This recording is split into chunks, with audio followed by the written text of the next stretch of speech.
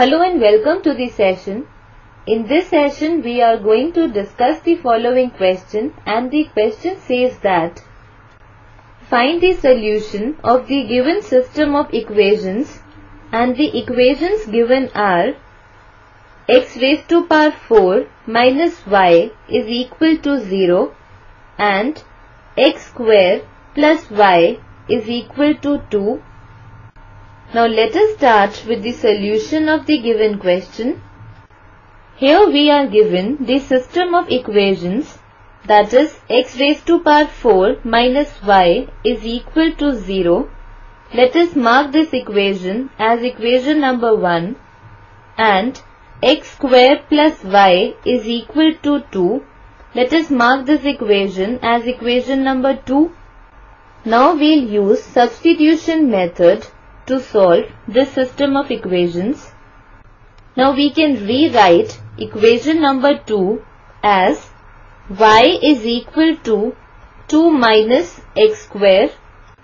Now we put this value of y in equation number 1 and we get x raised to power 4 minus of y that is minus of 2 minus x square the whole is equal to 0 which implies that x raised to power 4 minus of 2 plus x square is equal to 0 and it can also be written as x raised to power 4 plus x square minus 2 is equal to 0. Let x square be equal to z. So, this polynomial now becomes z square plus z minus 2 and this equation can be written as z square plus z minus 2 is equal to 0. Now, this is a quadratic equation in z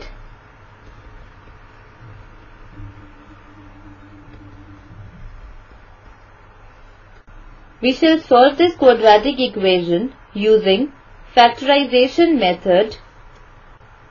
So we have z square. Now plus z can also be written as minus z plus 2z minus 2 is equal to 0.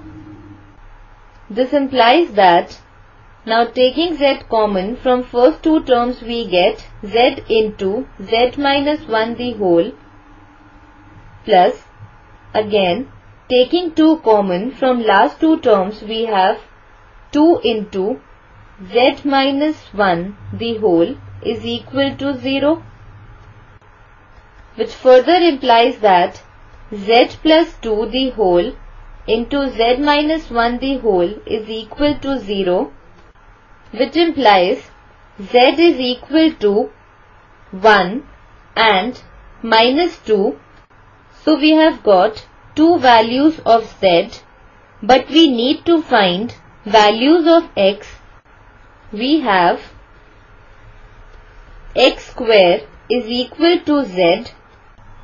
For z is equal to 1, we have x square is equal to 1 which implies that x is equal to plus minus of square root of 1 which further implies that x is equal to plus minus of 1. Now, for z is equal to minus 2, we have x square is equal to minus 2. But square of a number is never negative. So we have only two values of x that is x is equal to 1 and x is equal to minus 1. Now we obtain corresponding values of y. For this we put the value of x either in equation 1 or in equation 2. Let us use equation 2 to obtain value of y. When x is equal to 1, we have 1 square plus y is equal to 2 which implies that 1 square is 1 plus y is equal to 2 which further implies that y is equal to 2 minus 1 which is equal to 1. For x is equal to 1, we have y is equal to 1. So we have the ordered pair 1, 1. Similarly, when x is equal to minus 1, we have minus 1 whole square plus y is equal to 2 which implies that minus 1 whole square is 1 plus y is equal to 2 which further implies that y is equal to 2 minus 1 that is equal to 1. For x is equal to minus 1, y is equal to 1.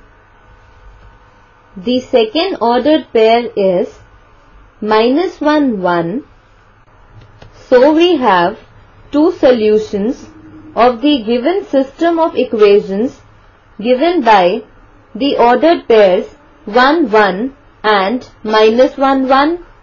Now if we see the following figure here this red curve represents the graph of the equation x square plus y is equal to 2 and this blue curve represents the graph of the equation x raised to power 4 minus y is equal to 0. We see that these two curves intersect at two points given by the ordered pairs minus 1 1 and 1 1.